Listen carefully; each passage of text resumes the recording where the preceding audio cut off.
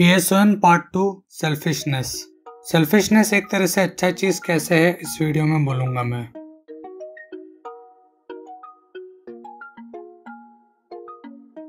Number एक selfishness तुमसे तुम्हारे हक की चीज़ें चिनने से बचाता है।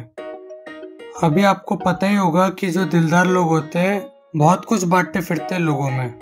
अभी वो शेयर करना पसंद करते is not the problem the problem actually is जब इनको बहुत बार पता नहीं होता कि लिमिट कितनी और कब सेट करनी है। और अपने पहले के वीडियो में बोल ही चुका हूँ कि कैसे इन जैसे लोगों को जैसे गन्ने का रस निकालते हैं, तब तक उनको वैसे ही निचोड़ते बैठते हैं इंटरनेट की भाषा में मिल्किंग तो ऐसे मामलों में सेल्फिश रहना बहुत सही चीज़ है स्पेशली जब कोई आपको बात बात पे कॉम्प्रोमाइज करने बोलता हो, उनके काम या चीज़ के लिए भी जहाँ पे उन्हें एफर्ट्स लेने चाहिए। सेल्फिशनेस आपको बिना बात के नुकसानों से बचाता है, जो बहुत बार लोग अपना नुकसान करके लेते क्योंकि दे बी लाइक बाकी लोग मेरे बारे में क्या सोचेंगे? नंबर टू सेल्फिशनेस तुम्हें तुम्हारे हक की चीज़ें पाने में मदद करता है। इस मामले में लोगों को जब एफर्ट्स नहीं लेने होते या फिर किसी भी वजह से चाहते हैं कि तुम पीछे रह जाओ, वो तुम्हें बहुत बार एडजस्ट या कॉम्प्रोमाइज करने बोलेंगे। अब ऐसे मामले में जब आप सेल्फिश होते हो, तब आप खुद के लिए सोचना कंसिडर करते हो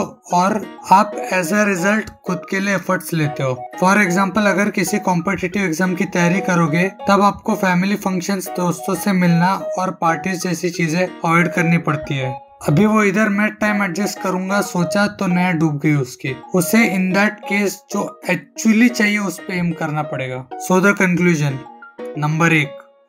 दिलदार इतने भी ना बनो कि सामने वाला आपका सब ले जाए। नंबर दो हाँ पर शेयरिंग उनके साथ करो जो आपके एफर्ट्स और बाकी के चीज़ों के लायक हो। नंबर तीन बैलेंस होना ज़रूरी है दोनों में, पर सिचुएशन के हिसाब से किसको प्रायोरिटी देना है वो आपके समझ पे है। Thanks for watching